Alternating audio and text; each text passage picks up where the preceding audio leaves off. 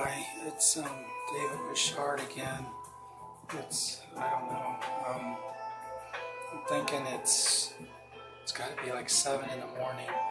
I'm out in the studio and um, I've worked all night. There's this is my husband John and me. Um, this was a project that his sister um, did called the White Shirt Project.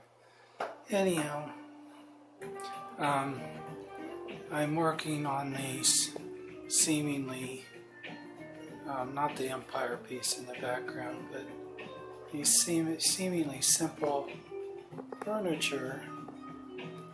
And um, it looks simple. You know, it's just top stitching at the edges, no piping, real clean lines.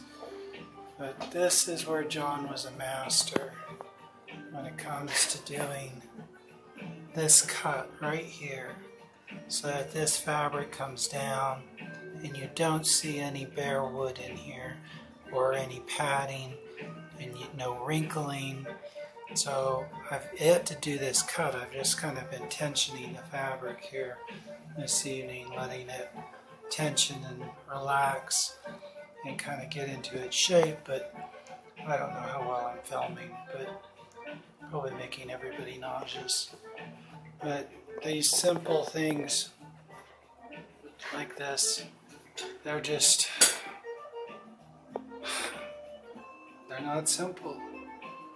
And I, I, I miss John. I love him so much. I miss him terribly. Because, you know, he, he, this thing right here, he, he could just, he could just, he just attack it with such bravery. And um, when I was with him, I was brave too, but um, right now I'm, I'm not brave. I'm, I'm questioning everything. But, um, if I can make these cuts, there's eight of these I have to do. Four corners. Goodness, no, I think there's nine of them. I've got four. Oh, there's eight. But um, they've got to look perfect at those edges, or else it's just it's just, it, it will just look horrible. And the customer wanted this tweed. He wanted it um, going sideways down here, so so that it looks like uh, it looks like the top. Ordinarily, this would go in a different direction, and then you wouldn't notice things like the fact that I I've had to arch it. Anyhow.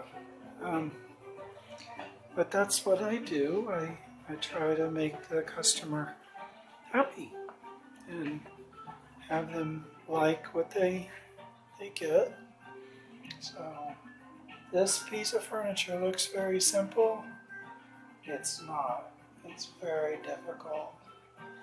And um, I love you, Johnny. I, this is David Wishart. Thank you for listening.